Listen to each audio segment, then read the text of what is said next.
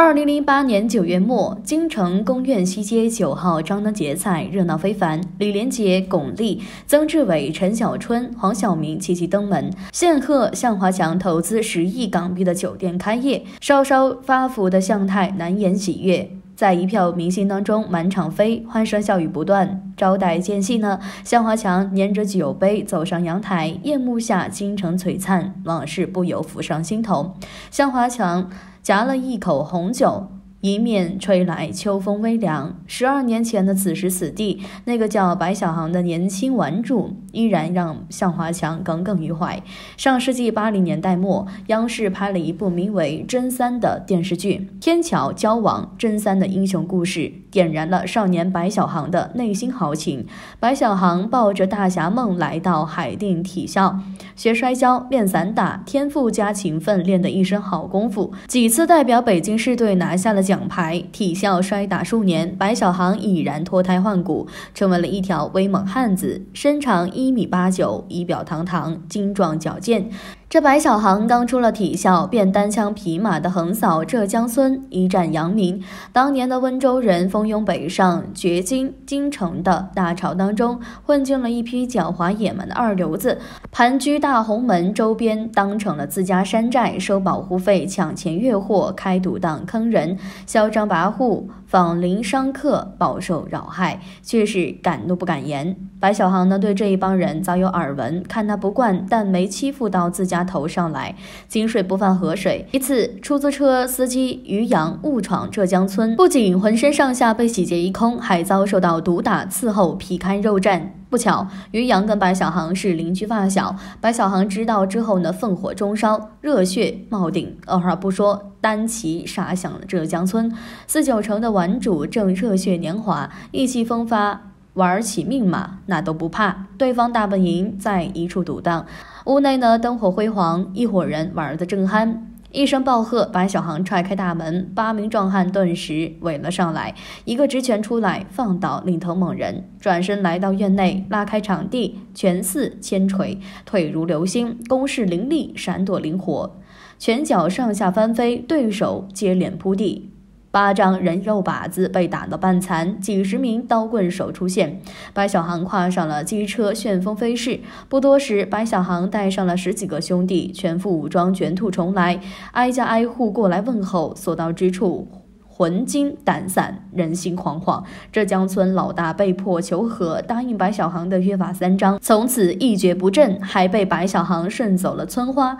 只记得京城有位颇有名望的老炮，叫严金。严金律师出身，经常与政商人脉来往，黑白两道，门路颇多。据说与海里某公子呢是拜把子兄弟，江湖能量非同小可。名声大噪的白小航深受严金的赏识，便追随着严金走到了一块儿，话分两。头这边再说向华强。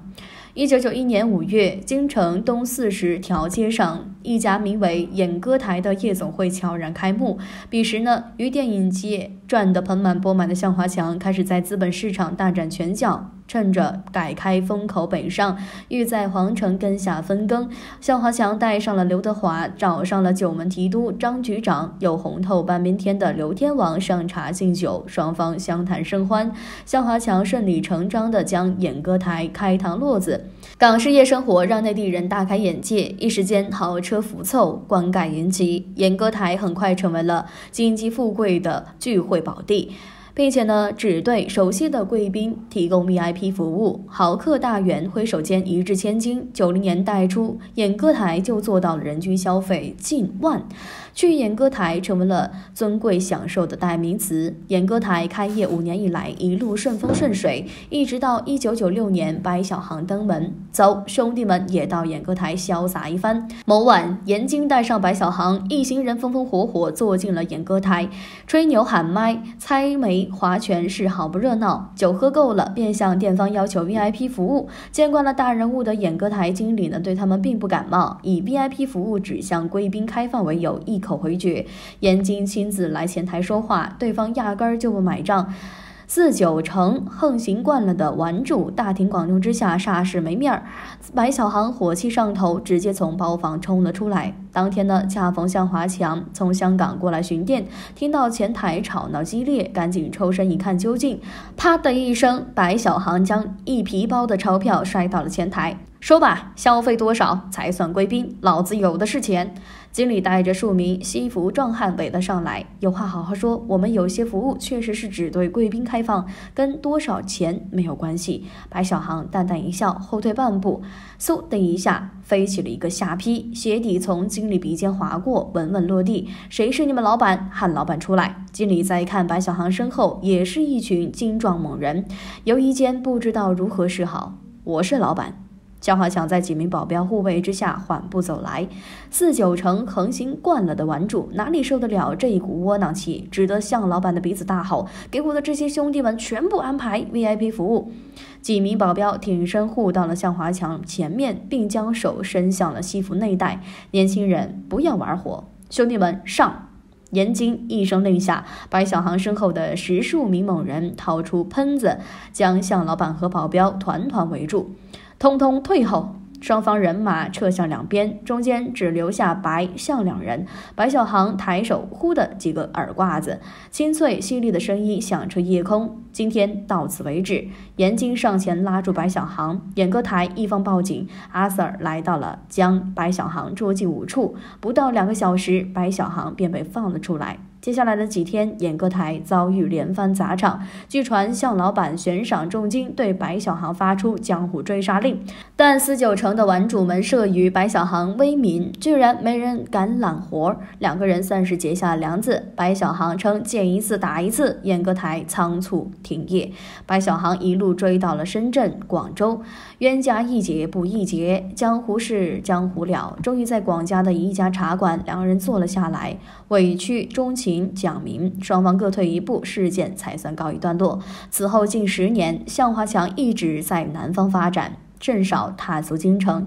白小航却在江湖路上来日无多，成为了无数淹没在时代浪潮中的老炮之一。白小航为人风流倜傥，留下了不少桃花情事。有人说白小航在天上人间吞云吐雾时再没醒来，也有人说白小航太过于高调，最终被阿 Sir 正法。火爆脾气让白小航在江湖上结仇颇多。据传，白小航手下调戏另一老炮黑宝子的女人，两方冲突之中，白小航殒命乱刀之下。臧天朔一铁哥们儿给白小航办了一场风光葬礼。终如流星划火，来时灿烂，去也匆匆，逃不了玩主宿命。这边厢，向华强在资本市场大展宏图。十二年轮回之后，二零零八年，向华强重回故地，豪掷十亿港元在京城开设一家高级公寓式酒店。不过，京城好像不是向老板的生意福地。不久之后，低调歇业。